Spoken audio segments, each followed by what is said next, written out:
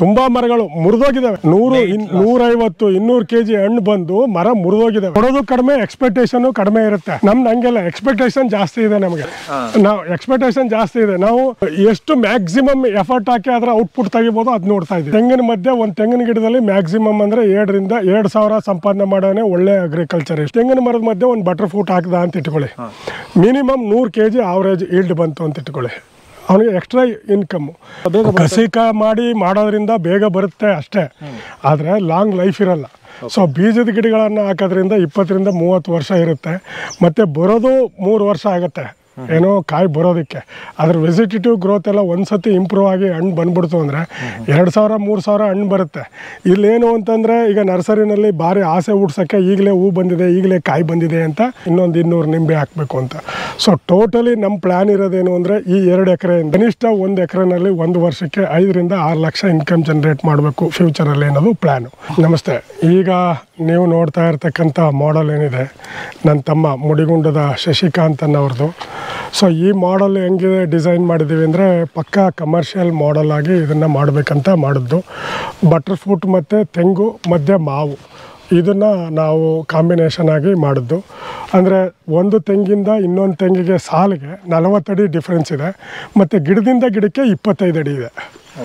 ಒಂದು ಸಾಲಿಂದ ಒಂದು ಸಾಲಿಗೆ ಅಂದರೆ ತೆಂಗು. ನಲವತ್ತಡಿ ಡಿಫ್ರೆನ್ಸ್ ಇದೆ.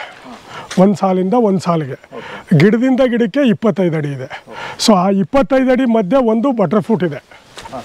ಸೊ ಬಟರ್ ಫ್ರೂಟ್ ಅಂತಂದರೆ ನಾವು ಇದನ್ನು ಮಾಡ್ಬೇಕಾದ್ರೆ ಇದು ಆರೇಳು ವರ್ಷದ ಗಿಡ. ಆರೇಳು ವರ್ಷದ ಗಿಡದಲ್ಲಿ ಅಂತಂದರೆ ನಾವು ಆಗ ಇನ್ನೂ ಗ್ರಾಫ್ಟೆಡ್ ಆ ಥರದ್ದೇನೂ ಬಂದಿರಲಿಲ್ಲ. ನಾವೇ ಒಳ್ಳೆ ವೆರೈಟಿ ಸೀಡ್ನ ಸೆಲೆಕ್ಟ್ ಮಾಡಿ ಬೀಜದ ಗಿಡಗಳನ್ನು ಮಾಡಿರೋದು ಇದು. ಅಂದರೆ ಇದು ಏಳನೇ ವರ್ಷದ ಗಿಡಗಳು ಇವು. ಏಳನೇ ವರ್ಷದ ಗಿಡದಲ್ಲಿ ಈಗ ಈಲ್ಡ್ ಬರ್ತಾ ಇದೆ ನೂರು ನೂರೈವತ್ತು ಕೆ ಜಿ ಈಲ್ಡ್ ತೆಗಿತಾ ಇದ್ದೀವಿ. ಸೊ ಒಂದೊಂದು ಗಿಡದಲ್ಲೂ ಕೂಡ. ಇಪ್ಪತ್ತೈದು ಅಡಿ. ಇಪ್ಪತ್ತೈದು ಅಡಿ ಮಧ್ಯ ನಮಗೆ ಇದು ಬರುತ್ತೆ. ನಾವು ಯಾಕೆ ಬಟರ್ ಫ್ರೂಟ್ನ ಸೆಲೆಕ್ಟ್ ಮಾಡ್ಕೊಂಡ್ವಿ ಅಂತಂದರೆ ಇದು ದ್ವಿದಳ ಧಾನ್ಯ ಸಸ್ಯ. ಈಗ ಅಲ್ಲಿ ನಾವು ಅಡಿಕೆ ಕಾಂಬಿನೇಷನ್ ನೋಡಿದ್ವಿ. ಸೊ ಈಗ ಜನ ಫ್ಲೋ ಇದೆಯಲ್ಲ ಅದನ್ನು ಮಾಡಿ ನೋಡೋಣ ಅಂತ. ಸೊ ಇದು ನಮ್ಮ ಐಡಿಯಾಲಜಿನಲ್ಲಿ ಮಾಡಿದ್ದು. ಇಲ್ಲಿ ಒಂದು ದ್ವಿದಳ ಸಸ್ಯ ಒಂದು ಏಕದಳ ಸಸ್ಯ ಇವೆರಡನ್ನ ಕಾಂಬಿನೇಷನ್ ಮಾಡಿದಾಗ ನೋಡಿ ಈಲ್ಡು ಕೂಡ ಚೆನ್ನಾಗಿದೆ. ಇದ್ರ ಈಲ್ಡು ಕೂಡ ತುಂಬ ಚೆನ್ನಾಗಿ ಬರ್ತಾ ಇದೆ. ಸೊ ಹಾಗಾಗಿ ನಾವು ಈ ಈ ಸಾರಿ ನಾವು ಒಂದು ಹತ್ತು ಟನ್ನು ಬಟರ್ ಫ್ರೂಟ್ ಕೊಟ್ಟಿದ್ದೀವಿ. ಎರಡು ಒಂದು ಮರದಿಂದ ನೂರು ನೂರೈವತ್ತು ಕೆ ಜಿ ಹಣ್ಣು ಬರ್ತಾ ಇದೆ. ಸೊ ಇದರಲ್ಲಿ. ಈ ಎರಡು ಎಕರೆನಲ್ಲಿ ಹತ್ತು ಟನ್ ಹಣ್ಣನ್ನು ನಾವು ಸೇಲ್ ಮಾಡಿದ್ದೀವಿ. ಮಿನಿಮಮ್ ಆವ್ರೇಜ್ ಹಂಡ್ರೆಡ್ ರುಪೀಸ್ ರೇಟಲ್ಲಿ ಮಾರಿರೋದು. ಓಕೆ ಎಕರೆ ಪೂರ್ತಿ ಹಿಂಗೆ ಇದೆಯಾ? ಹಾಂ ಹಾಂ. ಸೇಮ್ ಮಧ್ಯ ತೆಂಗಿನ ಮಧ್ಯ ಇದಿದೆ. ಅದು ಮಧ್ಯದ ಲೈನಲ್ಲಿ ಕಡಿಮೆ ಹಾಕಿಲ್ಲ ನಾವು. ಮಧ್ಯ ಆ ಕಡೆ ಸಾಲು ಈ ಕಡೆ ಸಾಲು ಸನ್ ಸನ್ರೈಸ್ ಸನ್ ರೈಸ್ ಮತ್ತೆ ಸನ್ಸೆಟ್ ಆಗೋ ಕಡೆ ಬಿಸಿಲು ಚೆನ್ನಾಗಿ ಬೀಳಲಿ ಅಂದ್ಬಿಟ್ಟು ಬಟರ್ ಫ್ರೂಟ್ ಎರಡು ಲೈನಲ್ಲೂ ಕಂಪಲ್ಸರಿ ಒಂದು ಎರಡು ತೆಂಗಿನ ಮಧ್ಯ ಒಂದಿದೆ.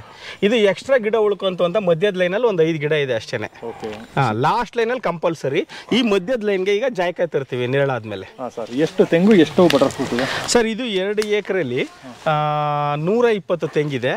ಆ ನೂರ ಇಪ್ಪತ್ತು ತೆಂಗು ಮಧ್ಯದಲ್ಲಿ ಬಾರ್ಡರ್ ಇರೋದ್ರಿಂದ ಆ, ಎಂಬತ್ತು ಬಟರ್ ಫ್ರೂಟ್ ಇದೆ.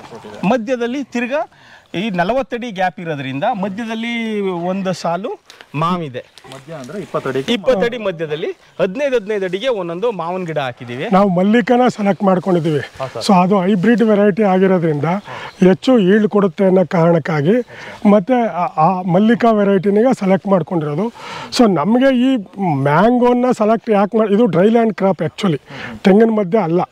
ಸೊ ನಾವು ಆವತ್ತಿನ ಪರಿಸ್ಥಿತಿನಲ್ಲಿ ಏಳೆಂಟು ವರ್ಷದ ಹಿಂದೆ ತುಂಬ ಡ್ರಾಟ್ ಇತ್ತು. ನಮ್ಮ ನೀರು ಬರ್ತಾ ಇದ್ದಿದ್ದೆ ಇಲ್ಲಿ ಒಂದು ಒಂದು ಕಾಲು ಇಂಚು ನೀರು. ಸೊ ಆ ಕಾರಣಕ್ಕಾಗಿ ಇದನ್ನು ನಲವತ್ತಡಿ ಕೊಟ್ಟು ಇದ್ರ ಮಧ್ಯೆ ನಾವು ಡ್ರೈ ಕ್ರಾಪನ್ನು ಸೆಲೆಕ್ಟ್ ಮಾಡ್ಕೊಂಡಿದ್ದು. ಸೊ ಇವತ್ತಿನ ಪರಿಸ್ಥಿತಿ ರೀತಿ ನೀರು ಚೆನ್ನಾಗಿ ಬರ್ತಾ ಇದ್ರೆ ನಾವು ಮ್ಯಾಂಗೋಗೆ ಹೋಗ್ತಾ ಇರಲಿಲ್ಲ ಬೇರೆ ಕ್ರಾಪ್ಗೆ ಹೋಗ್ತಾ ಇದ್ವಿ. ಸೊ ನಾವು ಈಗ ನಮ್ಮ ಪ್ಲ್ಯಾನ್ ಪ್ರಕಾರ ಈ ನಲವತ್ತಡಿ ಏನು ಗ್ಯಾಪ್ ಕೊಟ್ಟಿದ್ದೀವಿ ಈ ಗ್ಯಾಪಿನ ಮಧ್ಯೆ ಇಲ್ಲಿ ನಮಗೆ ಬಟರ್ ಫ್ರೂಟ್ ಬರಬೇಕಾಗಿತ್ತು. ಇಲ್ಲಿ ನಾವು ಬಟರ್ ಫ್ರೂಟ್ ಮಾಡಿ ಅಲ್ಲಿ ಜಾಯ್ಕಾಯಿ ಕೊಟ್ಟಿರೋವಲ್ಲ ತುಂಬ ಎಕನಾಮಿಕಲಿ ಬೆನಿಫಿಟ್ ಇರತಕ್ಕಂಥ ಒಳ್ಳೆ ಮಾಡಲ್ ಆಗ್ತಿತ್ತು. ದೊಡ್ಡ ಮರ ಆಗುತ್ತೆ ಈಗ ಆಲ್ರೆಡಿ ನಾವು ಅರ್ಧ ಮರ ತೆರೆದಿದ್ದೀವಿ. ಸಿಂಗಲ್ ಸ್ಟಮ್ ಮಾಡೋದಕ್ಕೋಸ್ಕರ ತುಂಬ ಮರಗಳು ಮುರಿದೋಗಿದ್ದಾವೆ.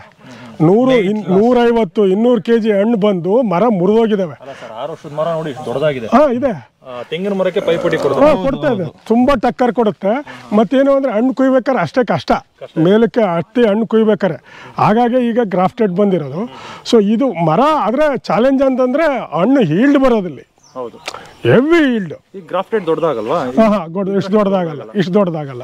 ಯಾವ ಒಂದು ಎಷ್ಟು ಅಡಿ ಇರುತ್ತೆ? ಮ್ಯಾಕ್ಸಿಮಮ್ ಅಂದ್ರೆ ಒಂದು ಹದಿನೈದು ಅಡಿ. ಹದಿನೈದು ಅಡಿ. ಅದೇ ಇದು ಮೂವತ್ತಡಿ ನಲವತ್ತಡಿ ಬೇಕಾದ್ರೂ ಹೋಗುತ್ತೆ. ಹೌದು ಹೌದು ಮುಂದೆನೆ ಈ ಸತಿ ನನಗೆ ಆಲ್ಮೋಸ್ಟ್ ನೂರೈವತ್ತು ಕೆಜಿ ಈಲ್ಡ್ ಬಂದಿದೆ ಈ ಮರದಲ್ಲಿ. ನಾವು ಪ್ರತಿ ಮರದ್ದು ಈಲ್ಡು ಇದನ್ನೆಲ್ಲಾನು ಡಾಟಾ ಕಲೆಕ್ಷನ್ ಮಾಡ್ತೀವಿ. ಕಲೆಕ್ಷನ್ ಮಾಡ್ತೀವಿ. ಯಾವ್ಯಾವ ಮರದಲ್ಲಿ ಎಷ್ಟು ಎಷ್ಟೆಷ್ಟು ಡ್ರಾ ಮಾಡಿದ್ವಿ. ಇವಾಗ ನಾ ಇದು ಸಾಲಲ್ಲ ಈ ಮರಕ್ಕೆ. ಮಿನಿಮಮ್ ನಾಲ್ಕು ಬಕೆಟ್ ಎರೆಹುಳ ಗೊಬ್ಬರ ಹಾಕಿದ್ದೀನಿ. ಓಕೆ. ನಾಲ್ಕು ಬಕೆಟ್ ಎರೆಹುಳ ಗೊಬ್ಬರ ಮತ್ತೆ ದನದ ಗೊಬ್ಬರ ಕುರಿ ಕುರಿ ಪಿಕ್ಕೆ ಎಲ್ಲ ಹಾಕ್ಸಿದ್ದೀನಿ. ನಾನು ನನ್ನ ಹತ್ರನೇ ಎರೆಹುಳ ಗೊಬ್ಬರ ಇರೋದ್ರಿಂದ ಅರೆಸ್ಟ್ ಮಾಡಿ ನಾಲ್ಕು ಬಕೆಟ್ ಹಾಕಿದ್ದೀವಿ ಟೆನ್ ಟೆನ್ ಕೆ ಜಿಸ್ತು ಅದು ಸಾಲಲ್ಲ ಇದಕ್ಕೆ ಇದಿರೋ ಆ, ಯಾಕೆಂತಾರೆ ಈಗ ನಾವೆಲ್ಲ ಏನನ್ನೋದೇನು ಕೊಡೋದು ಕಡಿಮೆ ಎಕ್ಸ್ಪೆಕ್ಟೇಷನು ಕಡಿಮೆ ಇರುತ್ತೆ. ನಮ್ದು ಹಂಗೆಲ್ಲ ಎಕ್ಸ್ಪೆಕ್ಟೇಷನ್ ಜಾಸ್ತಿ ಇದೆ ನಮಗೆ. ನಾವು ಎಕ್ಸ್ಪೆಕ್ಟೇಷನ್ ಜಾಸ್ತಿ ಇದೆ. ನಾವು ಎಷ್ಟು ಮ್ಯಾಕ್ಸಿಮಮ್ ಎಫರ್ಟ್ ಹಾಕಿ ಅದರ ಔಟ್ಪುಟ್ ತೆಗಿಬೋದು ಅದು ನೋಡ್ತಾ ಇದ್ದೀವಿ ನಾವು. ಹೂ ಬಂದಿದೆ ಅದು ಆಲ್ರೆಡಿ ಸೊ ಆಲ್ರೆಡಿ ಹೂ ಬಂದಿರೋದು. ಬಟರ್ ಫ್ರೂಟ್ ಇನ್ನೊಂದು ಹದಿನೈದು ದಿನಕ್ಕೆಲ್ಲ ಬರ್ತವೆ ಓಕೆ. ಅದು ಯಾವಾಗ ಈ ಸೀಸನ್ ಜೂನ್ ಜುಲೈ ಜೂನ್ ಜುಲೈಗೆ ಕಟಿಂಗ್ ಬರುತ್ತೆ. ಫೆಬ್ರವರಿ ಮಿಡ್ಲ್ ಅಥವಾ ಎಂಡಿಂಗ್ಗೆ ಹೂವೆಲ್ಲ ಅರಳಿ ಪಾಲಿನೇಷನ್ ರೆಡಿ ಆಗುತ್ತೆ ಸಣ್ಣ ಸಣ್ಣ ಕಾಯಿ ಇರುತ್ತೆ. ಸೊ ಈಗ ಈ ನಲವತ್ತಡಿ ಮಧ್ಯ ಗ್ಯಾಪಲ್ಲಿ ಇಲ್ಲಿ ನಿಂಬೆ ಬರುತ್ತೆ. ಓಕೆ. ಇಲ್ಲಿ ನಿಂಬೆ ನಿಂಬೆ ಮಾಡ್ಬೇಕನ್ನೋದು ಪ್ಲಾನ್ ಇದೆ. ಅಲ್ಲ ಬಾಳೆ ಇತ್ತು. ಬಾಳೆ ಇತ್ತು. ಬಾಳೆ ಮಾಡಿದ್ವಿ ಮತ್ತೆ ಕಲ್ಲಂಗಡಿ ಮಾಡಿತ್ತು ಮಾಡಿದ್ವಿ. ಮತ್ತೆ ಕ್ಯಾಪ್ಸಿಕಮ್ ಮಾಡಿತ್ತು. ಮತ್ತೆ ಬಜ್ಜಿ ಮೆಣಸಿಕಾಯಿ ಅದು ಮಾಡಿತ್ತು ಮಾಮೂಲಿ ಮೆಣಸಿಕಾಯಿ ಮಾಡಿತ್ತು ಬದನೆ ಮಾಡಿತ್ತು ಟೊಮೊಟೊ ಮಾಡಿತ್ತು ಇದರಲ್ಲಿ ಏನು ನಾವು ಬಿಟ್ಕೊಟ್ಟಿಲ್ಲ. ಆ, ಬಾಳೆ ಎಲ್ಲ ಬಂದಿದೆ. ಈ ಮೂರು ವರ್ಷ ಕಂಟಿನ್ಯೂ ಇದನ್ನ ನೆಟ್ಟಾಗ ನಾವು ತೆಂಗು ಮತ್ತೆ ಇದು ಬಾ ಬಟರ್ ಫ್ರೂಟು ಮಾವು ಇದೆಲ್ಲ ಹಾಕಿದಾಗ ಭಾಳನೇ ಮೇಜರ್ ಕ್ರಾಪು ಕಂಟಿನ್ಯೂ ಎರಡು ಕ್ರಾಪನ್ನು ಯಾಕಂದ್ರೆ ಹಾಕಿರೋ ಇನ್ವೆಸ್ಟ್ಮೆಂಟ್ ಔಟ್ಪುಟ್ ಆಗಬೇಕಲ್ಲ. ಸೊ ಆ ಕಾರಣಕ್ಕೋಸ್ಕರ ನಾವೇನು ಮಾಡಿದ್ವಿ ಇಲ್ಲಿ ಬಾಳೆನ ಹಾಕಿ ನಾವೇನು ಇನ್ವೆಸ್ಟ್ ಮಾಡಿದ್ದೀವಿ ಮತ್ತು ಜೀವನ ನಡಿಬೇಕಲ್ಲ. ಸೊ ಅದರ ಔಟ್ಪುಟ್ನ ನಾವು ಆವಾಗ ತಗೊಂಡ್ವಿ. ಸೊ ಅದಾದ ನಂತರ ನಾವು ಈ ಈ ಮಾಡಲ್ ಎಲ್ಲ ಎಸ್ಟಾಬ್ಲಿಷ್ ಆಯ್ತಲ್ಲ. ಈಗ ನಮಗೆ ಹತ್ತು ಟನ್ನು ಬಟರ್ ಫ್ರೂಟ್ ಬರ್ತಾ ಇದೆ. ಪ್ರತಿ ತಿಂಗ ನಾವು ಎಳ್ಳೀರು ಕೊಡ್ತಾ ಇದ್ದೀವಿ ಸೊ ಈಗ ನಮಗೆ ಇಲ್ಲಿ ಅರ್ನಿಂಗ್ ಶುರು ಆಯಿತು. ಈಗ ನಮಗೆ ಮಧ್ಯೆ ಇಂಟರ್ ಕ್ರಾಪ್ನ ಅವಶ್ಯಕತೆ ಇಲ್ಲ, ಮತ್ತು ಈಗ ಬರೋದು ಇಲ್ಲ. ನಾವು ಈಗ ಇಲ್ಲಿ ಬಾಳೆ ಹಾಕ್ತೀವಿ ಅಥವಾ ಬೇರೆ ಏನಾದ್ರು ಹಾಕ್ತೀವಿ ಅಂದರೆ, ಸರಿಯಾದ ರೀತಿ ಈಲ್ಡ್ ಎಕ್ಸ್ಪೆಕ್ಟ್ ಮಾಡೋಕ್ಕಾಗಲ್ಲ ಸೊ ಹಾಗಾಗಿ ಈ ಕಡಿಮೆ ಸನ್ಸ್ ಸನ್ಲೈಟ್ ಏನಿದೆ ಇದಕ್ಕೆ ಕಳ ಅಂತ ಮತ್ತು ಕಡಿಮೆ ಶ್ರಮ ಇರತಕ್ಕಂಥ ವೆರೈಟಿ ತಳಿಗಳೇನಿದ್ದಾವೆ ಅಂಥದ್ದನ್ನು ನಾವು ಮಾಡೋಣ. ಈ ಖಾಲಿ ಪ್ಲೇಸಲ್ಲಿ ಅನ್ನೋದು ಪ್ಲ್ಯಾನ್ ಇದೆ. ಖಾಲಿ ಪ್ಲೇಸ್ ಅಲ್ಲಿ ಸೂರ್ಯನ ಬಿಸಿಲು ಎಲ್ಲಿ ಚೆನ್ನಾಗಿ ಬೀಳುತ್ತೋ ಅಲ್ಲಿ. ಅಲ್ಲಿ ಅಲ್ಲಿ ಮತ್ತು ಕಡಿಮೆ ಸನ್ಲೈಟನ್ನು ಕೇಳೋ ಅಂಥ ತಳಿಗಳನ್ನು ಹಾಕೋಬೇಕು. ಈ ಎರಡು ತೆಂಗು ಮಧ್ಯೆ ಇಲ್ಲೊಂದು ಹಾಕ್ಬೋದು. ಇಲ್ಲ ಈ ನಾಲ್ಕು ಮರ ಏನು ಬರುತ್ತೆ ಏನ್ ಬರುತ್ತೆ? ಇದು ನಾವು ಅದನ್ನ ಲೆಕ್ಕ ತಗೋತಾ ಇಲ್ಲ. ಇದು ಹದಿನೈದು ಅಡಿ ಮತ್ತೆ ಅದು ಇಪ್ಪತ್ತಡಿ ಇರೋದ್ರಿಂದ ಈ ಹದಿನೈದು ಅಡಿ ಮಧ್ಯದಲ್ಲಿ ಇಲ್ಲಿ. ಇದಕ್ಕೆ ಅಂದ್ರೆ ಅದು ನಿಂಬೆ ಹಾಕಿದ್ರೆ ಈ ಮಾವಿನ ಗಿಡದಷ್ಟೇ ಹೈಟ್ ಬರೋದು. ಅಷ್ಟೇನೆ ಪ್ರೂನಿಂಗ್ ಮಾಡ್ಕೊಂಡ್ರೆ. ಅವು ಎರಡರ ಮಧ್ಯದಲ್ಲಿ ಈ ಈ ಟ್ವೆಂಟಿ ಫೀಟ್ ಡಿಸ್ಟೆನ್ಸ್ ಮಧ್ಯದಲ್ಲಿ ಒಂದೊಂದು ನಿಂಬೆ ಹಾಕೋಣ ಅನ್ಕೊಂಡು ಬಾಲಾಜಿ ಅಂದ್ರೆ ನಾವು ಮಾವನ್ನ ರಿಮೋಟ್ ಮಾಡ್ತಾ ಇದೀವಿ ಅಂದ್ರೆ ಪ್ರೂನಿಂಗ್ ಮಾಡಿ ಚಿಕ್ಕದಾಗಿ ಇಟ್ಕೊಂಡಿರೋದು.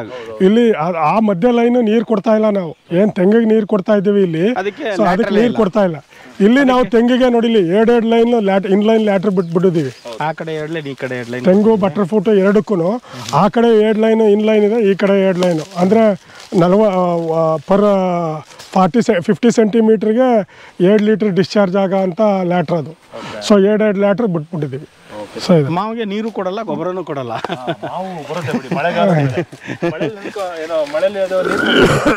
ಅಲ್ಲ ಮಳೆ ಅಂತ ಹೇಳಕ್ಕಾಗಲ್ಲ ಅದ್ರ ಬೇರೆ ಆಲ್ರೆಡಿ ಇಲ್ಲಿ ಗಂಟ ಬಂದಿರುತ್ತೆ. ಬಂದಿರುತ್ತೆ ಕರೆಕ್ಟ್ ಸೊ ಹಾಗಾಗಿ ನಾವು ಕೊಡಲ್ಲ ಅಂದ್ರೂ ಅದು ತಗೊಳತ್ತೆ. ಕೆಳಗಡೆ ಕೆಳಗಡೆ ಏನು ಆಗದೆ ಇರೋ ಆಟ ಅದು. ರೂಟ್ ಹೋಗಿರುತ್ತೆ. ಇದರಲ್ಲಿ ಇಮಾಮ್ ಪಸಂದ್ ಇದೆ ಮಲ್ಲಿಕಾ ಇದೆ ದಶೇರಿ ಇದೆ ಇದೆ. ಇವೆಲ್ಲ ಈಲ್ಡ್ ಬಿಡ್ತಾ ಇದಾವಲ್ಲ? ಈಗ ಹೂ ಸ್ಟಾರ್ಟ್ ಆಗಿದೆ. ಇದು ಒಂದು ಇಮಾಮ್ ಪಸಂದ್ ಇದು. ಇಮಾಮ್ ಪಸಂದ್. ಒಂದು ಕಾಯಿನೇ ಐನೂರಿಂದ ಒಂದ್ ಕೆಜಿ ತನಕ ಬರುತ್ತೆ ಇದೆ ಗ್ರಾಮ್ ಸರ್ ಈಗ ಹತ್ತು ಟನ್ ನೀವು ಬಟರ್ ಫ್ರೂಟ್ ಬೆಳೆದಿದ್ರಿ. ಸೇಲಿಂಗ್ ಮಾಡಿದ್ರಿ? ನಾವು ಸೆಲ್ಫ್ ನಮಗೆ ಕಾಂಟ್ಯಾಕ್ಟ್ ಇದೆ. ಬೆಂಗಳೂರು ಇದೆ ಮೈಸೂರು ಇದೆ ಕೊಳ್ಳೇಗಾಲ ಚಾಮರಾಜನಗರ ಎಲ್ಲಾ ಕಡೆ. ಈಗ ನಿಮ್ಗೇನೋ ಕಾಂಟ್ಯಾಕ್ಟ್ ಇರುತ್ತೆ ನೀವು ಅದ್ರಲ್ಲೇ ಜಾಸ್ತಿ ಪರಿಣಿತಿ ಹೊಂದಿದ್ದೀರಿ. ಬೇರೆಯವರೆಲ್ಲ ಹೆಂಗೆ ಮಾರ್ಕೆಟ್ ಮಾಡಿ ಮಾಡ್ಬೋದು ಡೆಫಿನೆಟ್ಲಿ ಈಗ ನಾವು ಜಾಸ್ತಿ ರೇಟ್ ತಗೊಳಕ್ಕೋಸ್ಕರ ನಮ್ಮ ಕಾಂಟ್ಯಾಕ್ಟ್ನ ಯೂಸ್ ಮಾಡ್ಕೊತಾ ಇದ್ದೀವಿ. ಈಗ ತೆಂಗಿದೆ. ತೆಂಗಿನ ಮಧ್ಯೆ ಒಂದು ತೆಂಗಿನ ಗಿಡದಲ್ಲಿ ಮ್ಯಾಕ್ಸಿಮಮ್ ಅಂದರೆ ಎರಡರಿಂದ ಎರಡು ಸಾವಿರ ಸಂಪಾದನೆ ಮಾಡೋನೇ ಒಳ್ಳೆ ಅಗ್ರಿಕಲ್ಚರಿಸ್ಟು ಒಂದು ತೆಂಗಲಿ ಒಂದು ತೆಂಗಿನ ಮರದ ಮಧ್ಯೆ ಒಂದು ಬಟರ್ ಫ್ರೂಟ್ ಹಾಕ್ದ ಅಂತ ಇಟ್ಕೊಳ್ಳಿ. ಮಿನಿಮಮ್ ನೂರು ಕೆ ಜಿ ಆವ್ರೇಜ್ ಈಲ್ಡ್ ಬಂತು ಅಂತ ಇಟ್ಕೊಳ್ಳಿ. ಅವನಿಗೆ ಎಕ್ಸ್ಟ್ರಾ ಇನ್ಕಮ್ಮು ಕೆ ಜಿ ಇಪ್ಪತ್ತು ರೂಪಾಯಿಗೆ ಹೋಯ್ತು ಅಂತ ಇಟ್ಕೊಳ್ಳಿ. ಎರಡು ಸಾವಿರ ಬಂತಲ್ಲ? ಇಪ್ಪತ್ತು ರೂಪಾಯಿಗೆ ಯಾವನ್ಯಾರು ಮಧ್ಯವರ್ತಿ ಬಂದು ತಗೋಯ್ತಾನೆ? ಇಪ್ಪತ್ತು ರೂಪಾಯಿಗೆ ಹೋಗಲ್ಲ ಅದು ಆ್ಯಕ್ಚುಲಿ ಈಗ ನಾವು ಮಧ್ಯವರ್ತಿಗೆ ಕೊಟ್ಟರು ನಮ್ಮ ಹತ್ರ ಬಂದು ಅರವತ್ತು ರೂಪಾಯಿ, ಎಪ್ಪತ್ತು ರೂಪಾಯಿ ತಗೋತಾನೆ. ನಾ ಹೇಳೋದು ಅಂದರೆ ಪೂರ್ ರೇಟು ಈಗ ನಾವು ಡೈರೆಕ್ಟ್ ಮಾರ್ಕೆಟ್ ಇರೋದ್ರಿಂದ ನಾವು ಈ ರೇಟ್ನ ತಗೊಂಡಿದ್ದೀವಿ. ನಿಮಗೆ ಪೂರ್ ರೇಟು ಅಂತಂದ್ರೆ ನಿಮಗೆ ಮೂವತ್ತು ರೂಪಾಯಿ, ನಲ್ವತ್ತು ರೂಪಾಯಿ ಕೊಟ್ರು ನಿಮ್ಗೆ ಇನ್ಕಮ್ ಇದೆಯಲ್ಲ. ಒಂದು ಮರದಲ್ಲಿ ಒಂದು ತೆಂಗಿನ ಮ ಒಂದು ತೆಂಗಿನ ತೋಟ ಅಂತಂದರೆ ನೀವು ತೆಂಗು ನೆಟ್ಬಿಟ್ಟು ಎಲ್ಲ ಏನಾಗಿರ್ತದೆ ಆ, ಒಂದು ರೀತಿ ಸ್ಯಾಚುರೇಟೆಡ್ ಪೀರಿಯಡ್ ರೀಚ್ ಆಗ್ಬಿಟ್ಟಿರ್ತಾರೆ ಅವರೆಲ್ಲ ತೆಂಗು ಹಾಕಿರೋರು. ಸೊ ಅದ್ರ ಮಧ್ಯೆ ಇದೊಂದು ಅಡಿಷನಲ್ ಇನ್ಕಮ್ ಜನ್ರೇಟ್ ಆಗುತ್ತೆ ಅಂತಾರೆ. ಅವನಿಗೆ ಬಂದದ್ದೆಲ್ಲ ಲಾಭ ಅಲ್ಲ. ಮತ್ತು ಸಾಕಷ್ಟು ಎಲೆ ಉದುರುತ್ತಲ್ಲ? ಸೊ ಇದನ್ನು ನಾನು ಹೇಳ್ತಾ ಇರ್ತಕ್ಕಂಥದ್ದು. ಸೊ ಇಂಟ್ರಿ ಕ್ರಾಪ್ ಆಗಿ ಏನು ಜಾಯ್ಕಾಯಿ ಮಾಡ್ಬೋದು ಕಾಫಿ ಮಾಡ್ಬೋದು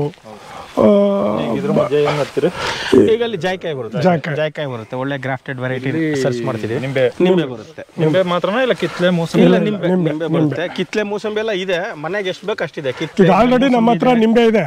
ನಮ್ಮ ಹತ್ರ ನಿಂಬೆ ಯಾವುದು ಈಲ್ಡ್ ಚೆನ್ನಾಗಿ ಬರ್ತಾ ಇದೆ. ಸೊ ಆ ವೆರೈಟಿನಿಗೆ ನಾವು ಇಲ್ಲಿಗ ಏನೋ ಹೆಚ್ಚಿನ ಸಂಖ್ಯೆನಲ್ಲಿ ಮಾಡಕ್ಕೆ ಪ್ರಯತ್ನ ಪಡ್ತಾ ಇರೋದು. ಈಗ ಆಲ್ರೆಡಿ ನಮ್ಮ ಹತ್ರ ನಿಂಬೆ ಗಿಡ ಇದೆ. ಒಂದು ಗಿಡದಲ್ಲಿ ಎರಡು ಸಾವಿರ ಚಿಲ್ಲರೆ ಹಣ್ಣು ಬರ್ತಾ ಇದೆ.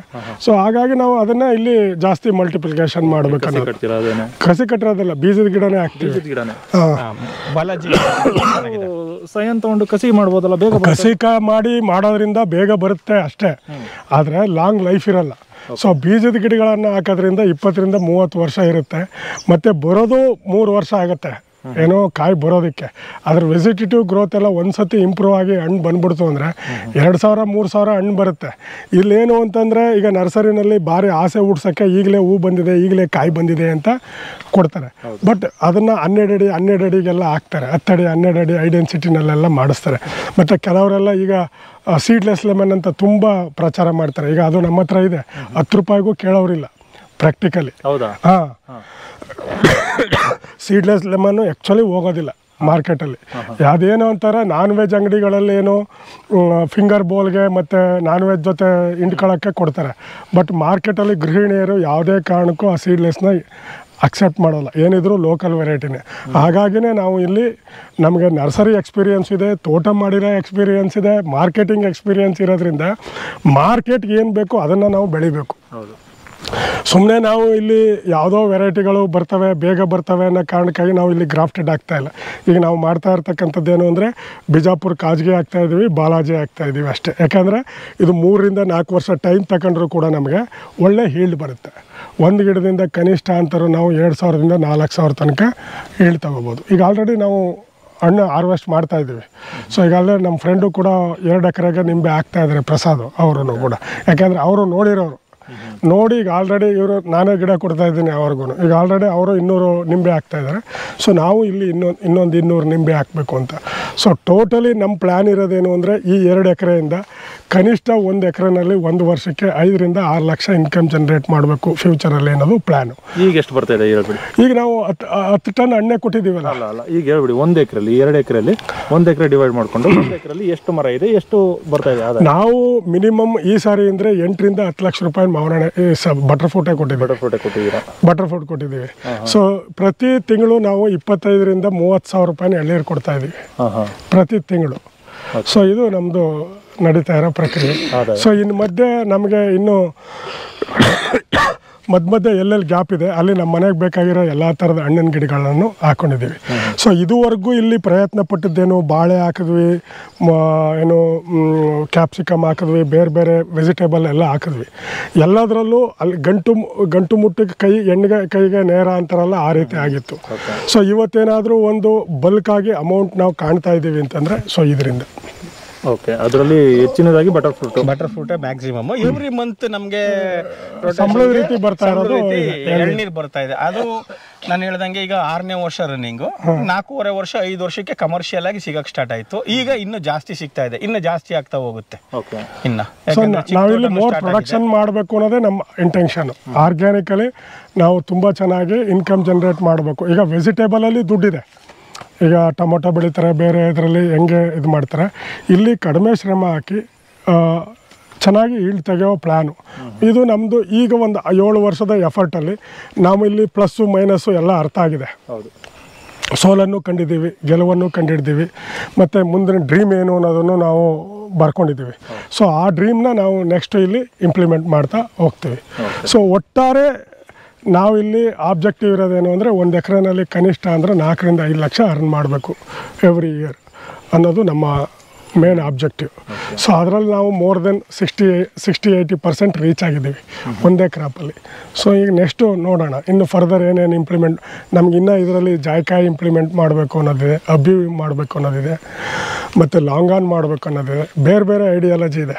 ಸೊ ಅದೆಲ್ಲ ಇಂಪ್ಲಿಮೆಂಟ್ ಆದಾಗ ಇನ್ಯಾವ ರೀತಿ ಈ ಮಾಡಲ್ ಎಕ್ಸ್ ಎಕ್ಸ್ಪೆಂಡ್ ಆಗುತ್ತೆ ಅನ್ನೋದನ್ನ ಕಾದು ನೋಡ್ಬೇಕು ಈ ವಿಡಿಯೋ ನೋಡಿದವರು ಈ ಮಾತುಗಳನ್ನ ಕೇಳಿ ತೆಂಗು ಹಾಕ್ತಾರೆ. ತೆಂಗು ಮಧ್ಯ ನಿಮ್ಮ ಕಾನ್ಸೆಪ್ಟು ಸೇಮ್ ಬಟರ್ ಫ್ರೂಟು ಇಲ್ಲ ಮಧ್ಯ ಎಲ್ಲರೂ ಹಾಕ್ಬೇಕು ಅಂತ. ಸೊ ನಾನು ಇದು ಇದನ್ನ ಇದನ್ನು ಯಥಾವತ್ತಾಗಿ ಕಾಪಿ ಮಾಡಬೇಡಿ ಅಂತ. ನಿಮ್ಮ ಮಾರ್ಕೆಟ್ ಕ್ರೈಟೀರಿಯಾ ಏನು ಹೇಳುತ್ತೆ ನಿಮ್ಮ ಇರೋ ಎನ್ವೈರ್ನಮೆಂಟ್ ಏನು ಹೇಳುತ್ತೆ ಕೇಳುತ್ತೆ. ಸೊ ಅದನ್ನ ನೋಡ್ಕೊಂಡು ಕ್ರಾಪ್ ಡಿಸೈನ್ ಮಾಡಿ. ಇಲ್ಲ ಬನ್ನಿ ನಾವು ಮಾಡಿಕೊಡ್ತೀವಿ. ವೆರೈಟಿಗೂ ಕೂಡ ಮಾರ್ಕೆಟ್ ಅಲ್ಲೆಲ್ಲಿದೆ? ಆ ಥರ ಮಾಡಬೇಕು. ನೀವು ಮಾರ್ಕೆಟ್ಗಳನ್ನ ಡಿಸೈನ್ ಏನಿದೆ, ಅದನ್ನ ನೋಡಿ ಬನ್ನಿ. ಸೊ ನಾವು ಈಗ ನಾನೇ ಈಗ ನಾನು ನರ್ಸರಿಗೆ ಬಂದವ್ರಿಗೆಲ್ಲರಿಗೂ ನಾನು ಹೇಳ್ತೀನಿ. ನಿಮ್ಮದು ಯಾವ ಊರು, ಏನೇನು ವ್ಯಾಪಾರ, ಏನೇನು ಬೆಳೀತಾರೆ ನಿಮ್ಮ ಸುತ್ತಮುತ್ತ ಏನು ಹಣ್ಣು ಮಾ, ಬೆಳೀತಾ ಇದ್ದೀರಾ? ಸೊ ಇದೆಲ್ಲ ಇದೆ. ಸೊ ಅವರ ಮಾರ್ಕೆಟಿಂಗ್ ಕ್ರೈಟೀರಿಯಾಗಳು ಯಾವ ಸಿಟಿಗೆ ನಿಯರೆಸ್ಟ್ ಇದೆ, ಅಲ್ಲಿಗೆ ಏನು ಡಿಮ್ಯಾಂಡ್ ಎಲ್ಲಿಂದ ಎಲ್ಲಿಂದ ಏನು ಸಪ್ಲೈ ಆಗ್ತಾ ಇದೆ. ಸೊ ಇದನ್ನೆಲ್ಲ ನೋಡಿ ನಾವೇನು ಮಾಡಬೇಕು, ಕ್ರಾಪ್ ಡಿಸೈನ್ ಮಾಡಬೇಕು. ಸೊ ಇದು ಮೇಜರಾಗಿ ಇರ್ತಕ್ಕಂಥದ್ದು. ಸೊ ಇಲ್ಲಿ ಏನು ಮಾಡ್ತಾ ಇದ್ದಾರೆ ಅಂತಾರೆ ಬ್ಲೈಂಡಾಗಿ ಫಾಲೋ ಮಾಡೋದಲ್ಲ. ಒಂದೊಂದು ಮಾಡೆಲ್ಗಳನ್ನ ಬ್ಲೈಂಡಾಗಿ ಫಾಲೋ ಮಾಡೋದ್ರಲ್ಲಿ ಅರ್ಥ ಇಲ್ಲ. ನಿಮ್ಮ ಮಾಡೆಲ್ಗಳು ಬೇಕಾ? ನಿಮ್ಮ ನಿಮ್ಮ ನೇಟಿವಿಟಿಗೆ ತಕ್ಕಂತೆ ಮಾಡೆಲ್ಗಳನ್ನ ಮಾಡಬೇಕು. ಮತ್ತು ನಿಮ್ಮ ನಿಮ್ಮ ನೇಟಿವಿಟಿಗೆ ತಕ್ಕಂತೆ ತಳಿಗಳನ್ನ ಆಯ್ಕೆ ಮಾಡಬೇಕು. ಈಗ ಮುಖ್ಯವಾಗಿ ಈಗ ನಾವೇ ಮೂವತ್ತ್ಮೂರು ವೆರೈಟಿ ಅಲಸಾಕಿದ್ದೀವಿ ಬಂದಿರೋದು ಹದಿಮೂರು ವೆರೈಟಿ ಸೊ ಹಾಗಾಗಿ ನಮ್ಮ ನೇಟಿವಿಟಿಗೆ ತಕ್ಕಂತೆ ತಳಿಗಳನ್ನು ಆಯ್ಕೆ ಮಾಡ್ಕೊಳ್ಳೋದು ಇದೆಯಲ್ಲ, ಅದು ಮಾರ ಭಾಳ ಇಂಪಾರ್ಟೆಂಟ್ ಆಗುತ್ತೆ. ಸೊ ಇದು ಮೋರ್ ಇಂಪಾರ್ಟೆಂಟ್ ಯಾವುದೇ ತೋಟದ ಕಟ್ಟಬೇಕು ಅಂತಂದವನು ಇದನ್ನೆಲ್ಲ ಈ ಕ್ರೈಟೀರಿಯಾಗಳನ್ನೆಲ್ಲ ತಲೆಯಲ್ಲಿ ಇಟ್ಟುಕೊಂಡು ಅವನು ಪ್ಲ್ಯಾನ್ ಮಾಡಬೇಕು.